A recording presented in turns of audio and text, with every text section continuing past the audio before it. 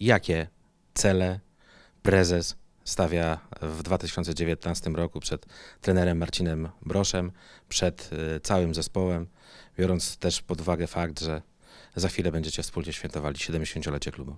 Te cele nie będą niczym nowym, bo cele zostały ustalone przed sezonem, się z nich nie wycofujemy i chcemy grać o miejsca od szóstego miejsca wzwyż.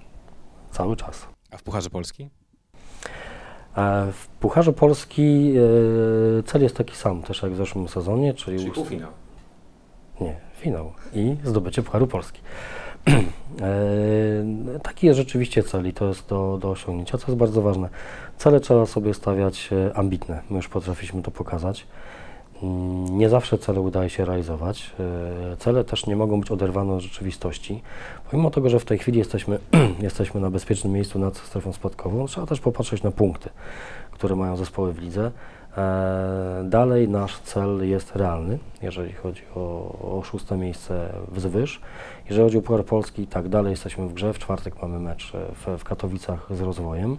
Mm, Chcemy, żeby dalej się tak układało, żebyśmy przechodzili, przechodzili kolejne etapy. Szkoda, że nie udało nam się w zeszłym sezonie e, wejść do finału. Uważam, że potencjał był,